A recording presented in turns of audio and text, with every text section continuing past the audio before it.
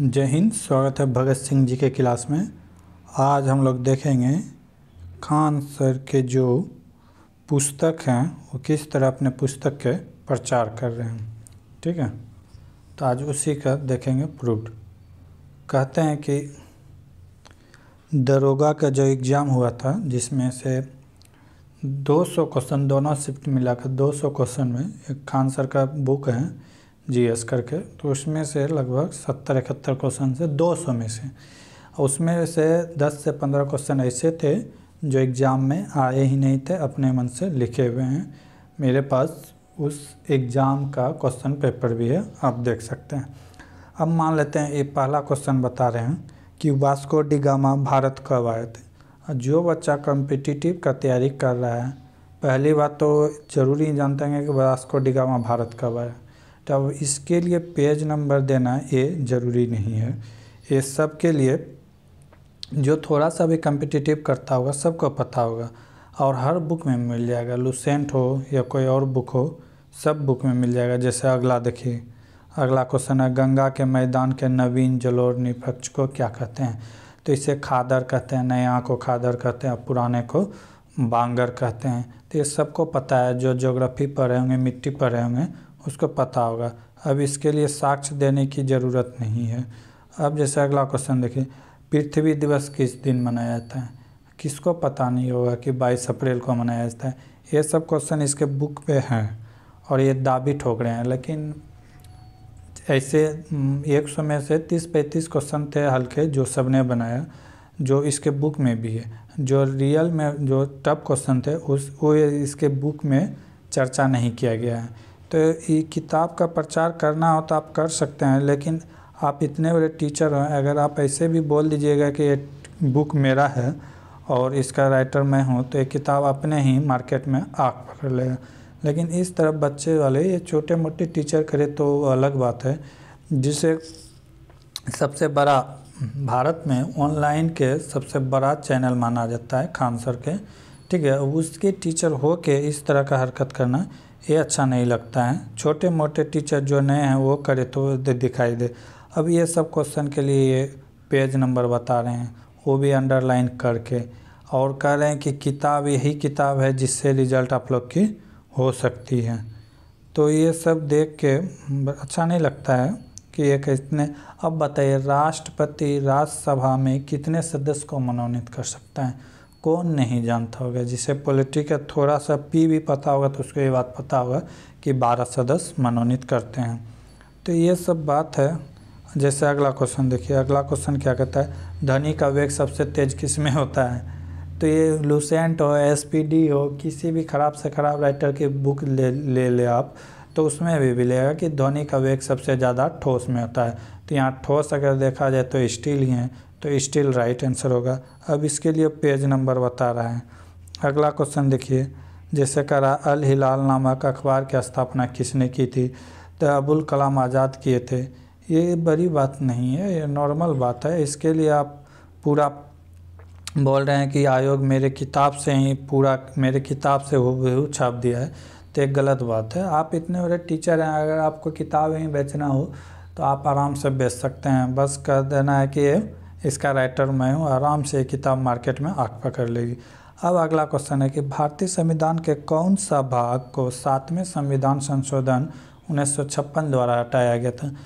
ये कौन नहीं जानता है, जो संविधान का एस भी पढ़ा होगा कॉन्स्टिट्यूशन का सी भी पढ़ा होगा तो उसे पता होगा कि सातवां भाग को हटाया गया था उन्नीस सौ छप्पन में। ठीक है? अब देखिए, केंद्रीय मंत्रिपरिषद सामूहिक रूप से किसके प्रति उत्तरदायी होता है? किसके प्रति उत्तरदायी होता है? तो लोकसभा के नॉर्मल क्वेश्चन है, इसके लिए आपको पेज नंबर नहीं देना चाहिए था। निम्नलिखित में कौन से अपाचायक सकड़ा है? तो ये सब क्वेश्चन के लिए आप पेज नंबर दे रहे हैं। बलवंत राय मेहता समिति कब दिया था? ये तो पंचायती राज से सबको पता है। अगला क्वेश्चन, अंकारा। अंकारा ने अंकारा था, उसकी राजधानी टर्की नहीं। ठीक है। तो ये सब बात आप देख रहे हैं कि किस तरह अब बताइए महाभियोग। जो राष्ट्रपति पढ़ा होगा, उसको पता होगा कि महाभियोग जो भी लगाया जाता है, लोकसभा या राज्यसभा में कहीं भी लगाया जाता है, सबको पता है। हल्के क्वेश्चन के लिए आप पेज नंबर बता रहे हैं, जो भारी क्वेश्चन अब लीजिए। बिहार का स्टूडेंट है, बिहार का क्षेत्रफल पता नहीं होगा, ये क्वेश्चन मार्क कर रहे हैं, चौरानवे हज़ार एक सौ तिरसठ वर्ग किलोमीटर। तो ये कोई क्वेश्चन नहीं है, ऐसे क्वेश्चन तो अगर एक लाख बच्चे एग्ज़ाम दिए होंगे दरोगा का तो लगभग निन्यानवे हज़ार नौ सौ निन्यानवे बच्चा सही बनाया होगा। ठीक है?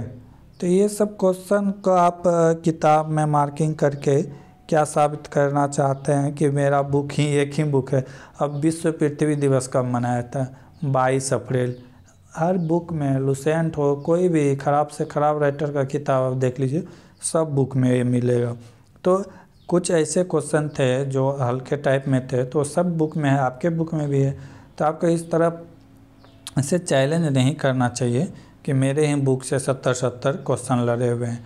और कह रहे हैं कि अगर मेंस निकालना है तो इस किताब को घोर के पीना ही पड़ेगा। ऐसी कोई बात नहीं है आपने 200 में से इकहत्तर क्वेश्चन दिखाए, लगभग 100 में 35 क्वेश्चन 35 क्वेश्चन में बच्चों का रिज़ल्ट नहीं हो जाता है, लगभग आपको दरोगा के लिए 80 80 प्लस नंबर चाहिए।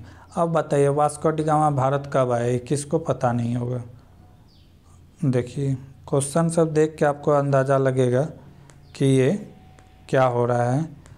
लेकिन खान सर से ये उम्मीद नहीं थे, क्योंकि बहुत सारे फ़ैन थे इसके, बहुत सारे स्टूडेंट भी थे इसके।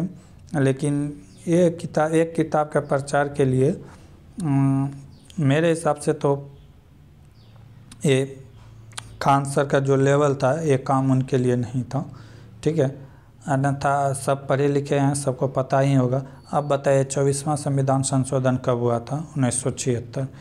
तो ये सब बात आप बुक नंबर पेज नंबर लिख के दे रहे हैं। कुछ ऐसे क्वेश्चन भी थे जो, वो भारी थे, जो जिसके बारे में वर्णन नहीं किया है। जैसे एक क्वेश्चन ये थे, ठीक है, विस्थापना एक दूरी के साथ अनुपात हमेशा क्या होता है? तो सर इसका टिक कराया, एक अनुपात एक होता है, एक के बराबर होता है, लेकिन इसका राइट आंसर एक के बराबर या एक से कम हो सकता है, क्योंकि विस्थापन दूरी भी हो सकता है, लेकिन ये निश्चित नहीं है कि दूरी विस्थापन ही होगा। तो कभी हो सकता है, कोई स्टेट लाइन में अगर दूरी कवर करता है तो विस्थापन दूरी हो सकता है, दोनों का रेशियो वन हो सकता है, लेकिन ये एक या एक से कम होगा, एक से ज़्यादा नहीं होगा। लेकिन सर इसका टिक कराएँ, एक एक के बराबर होता है। अगला क्वेश्चन जैसे देख लीजिए। इसका क्वेश्चन है, कांगड़ा लघु चित्रकला किस राज्य में बनाई गई? तो ये सब क्वेश्चन थे एग्ज़ाम में, लेकिन ये सब क्वेश्चन उसके बुक में नहीं थे तो इसके बारे में उन्होंने चर्चा नहीं किए हैं। ये क्वेश्चन भी था, मंगल पांडे, सेना, ये तो रेजिमेंट कोई भी जानता होगा। ठीक है, अगला ये भी क्वेश्चन था, मुगल मेवाड़ की संधि कब हुआ था? तो ये क्वेश्चन उसके बुक में नहीं था तो वो इसके बारे में वर्णन नहीं किए। ठीक है? तो यही थे विशेष क्या बताए? ठीक है? आप लोग खुद समझदार हैं। ठीक है? ठीक है, फिर मिलते हैं।